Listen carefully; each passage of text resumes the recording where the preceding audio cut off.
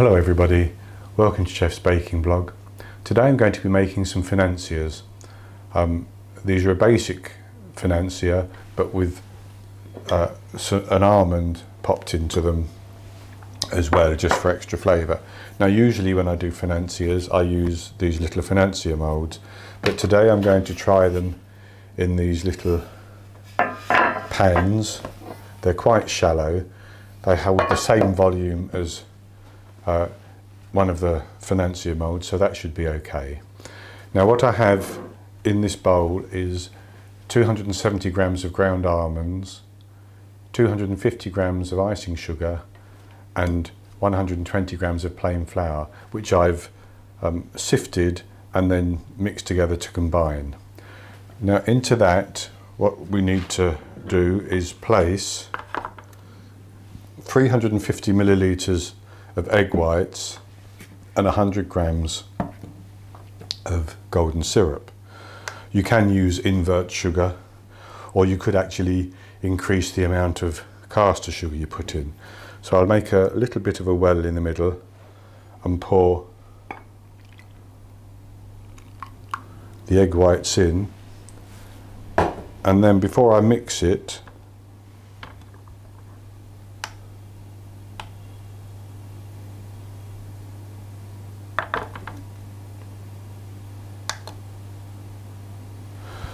I'm going to drip in 100 grams of golden syrup.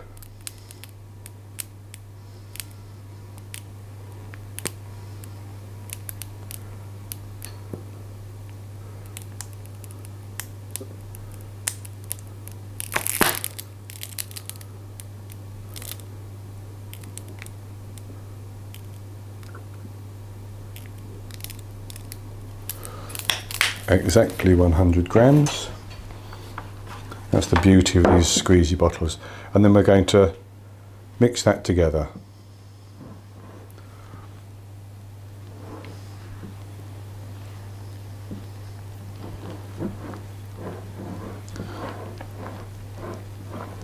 until we get a nice batter. Now usually with when I make um, financiers, what I do is chill the batter overnight once I've got the butter combined into it and then it's ready for piping but I've seen several recipes where they don't do that so today I'm going to try it without chilling overnight just to see what the effect is.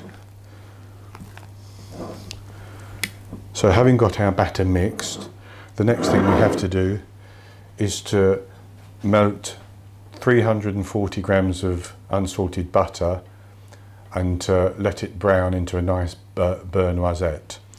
So I've got the butter in the pan.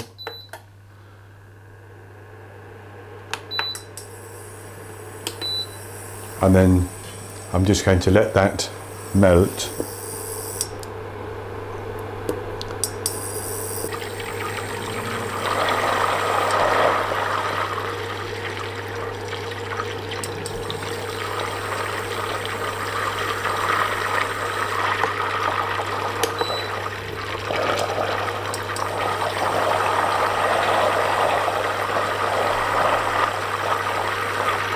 I can see it's beginning to change colour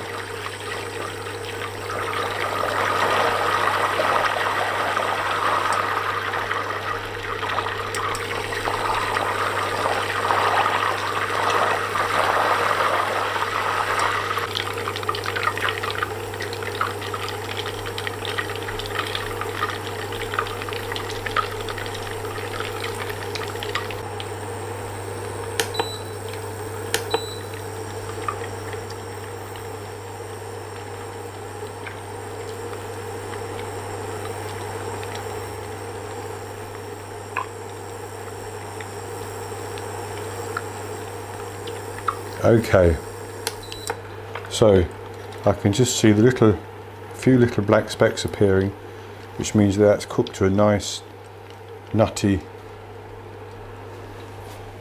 flavour. I'm going to take that off the heat and I'm going to pour it straight into our batter.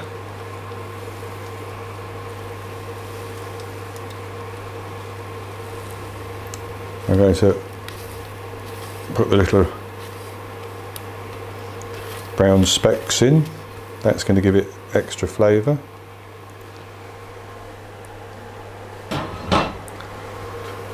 And gently mix that in until it's all combined.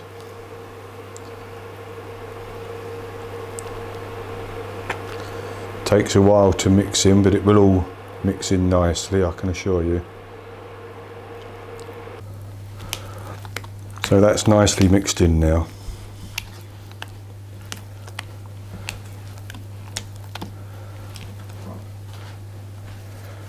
So the next thing to do is to put that into our trays. I'm using a fairly small ice cream scoop.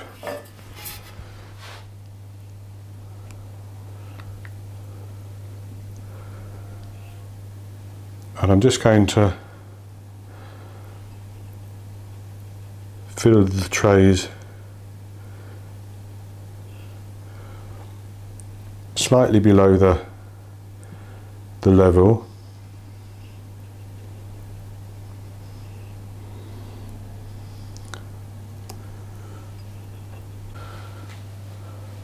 So I put the batter into the tins I can actually just see that one of them is slightly light on batter so I'm going to drip a little bit more in there.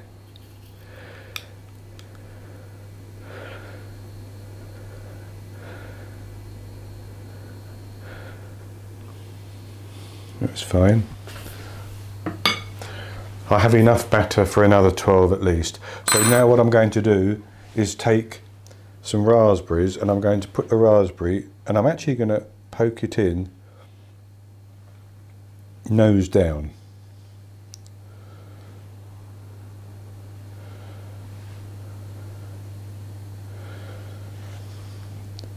Now these financiers should rise a little bit. Hopefully not over the side, over the edges. And the reason I'm poking them face down, nose down, is that I want to try to drip a little bit of seedless raspberry jam, or you could use raspberry coulis, into the little hole in the middle.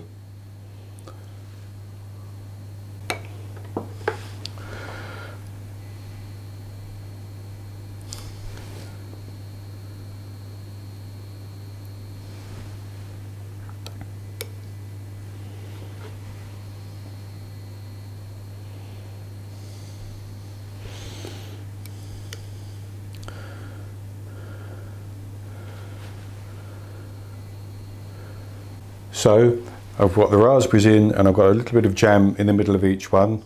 Oops. There's a little, there's one there with no jam in it at all. What a catastrophe. Come on, off you come.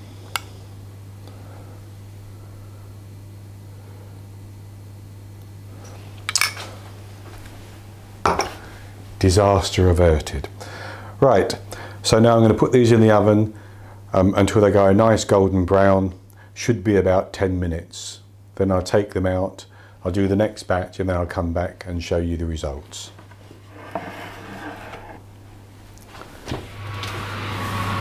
So now I've taken our financiers out of the oven. I actually got 34, so that was two trays of 12 and then 10 in a third tray. And as you can see, they seem quite crispy on the outside, and they are at the moment. But once they've been put into a um, Tupperware container or a you know a, an airproof uh, tin and left, the edges will go nice and soft and sticky, and they're, so they're going to be moist inside, and they develop a, a nice sort of uh, tacky feel to them. That's the um, golden syrup coming through. So I'll just have a taste of one.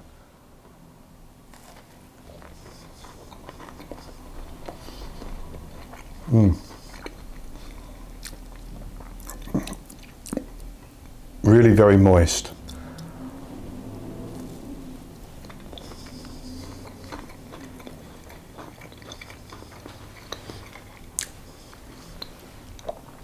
that lovely raspberry flavour. So that's it for today. These are very easy to make and the results are well worthwhile. So, if you've liked this video, please click on the thumbs up below the video to say that you like it and click on the subscribe button to subscribe to my channel so you can see the future videos as well. And I'll be back with you in a few days with something else to savour. So until then, happy baking.